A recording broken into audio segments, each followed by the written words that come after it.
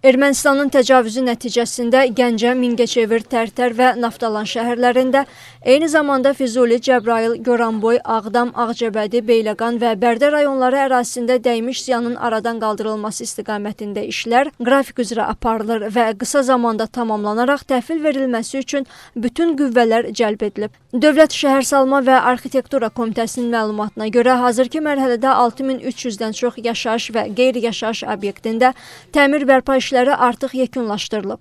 Digər zərər çəkmiş tikililərin yenidən qurma və bərpası üzrə işlər isə davam edir.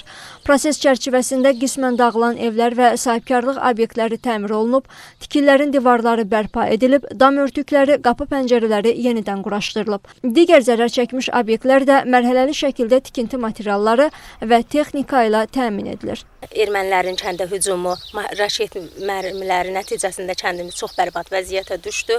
Dam örtükləri, şüşələr, yollar, küçələr hasarlar demək olar bərbad vəziyyətə düşmüşdü. İcra orqanlarının nəzarətlə evlərin hər bir hissəsi dəyişdirildi, yeniləri ilə daha yaxşı keyfiyyətli e, tikinti materialları ilə təmir olundu evlərimiz.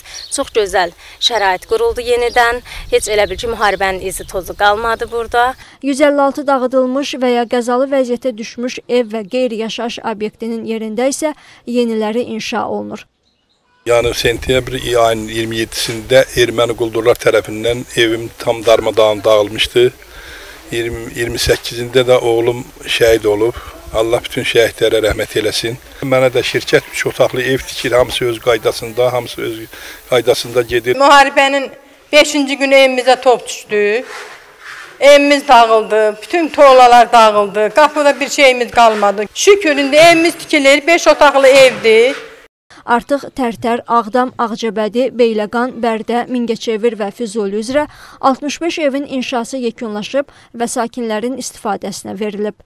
Bizim müharibədə evimizi mərmə düşüb yandırmışdı, tamamilə kür olmuşdu. Biz indi dövlət tərəfindən bizim evimizi bərpa eləyiblər, içində də köçüb yaşayır. Şəraiti lap yaxşı, lap gözəl.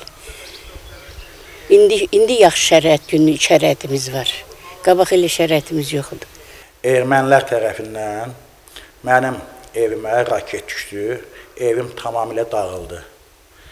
Hal-hazırda mənə müasir 5 otaqlı dövlət tərəfdən ev tikilib verilibdir. Hal-hazırda işlər, bəzi işlər də tamamlanmaq üzrədir.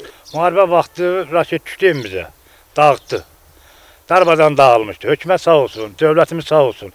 Gəldi çıxdı yerinə bir qəşəng ev tikib verib ma 2-3 günə də aləmlə, uşağımla girəcəm içinə yaşayacağam.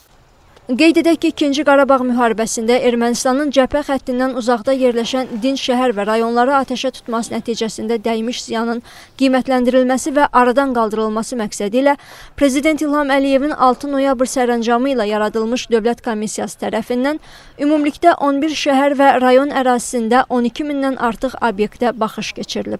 Qiymətləndirmə və təmir tikintinin ilkin planlaşdırılması işləri aparılıb. Yanvarın sonundan etibarən isə ziyan dəymiş ərazilərdə təmir tikinti işlərinə start verilib.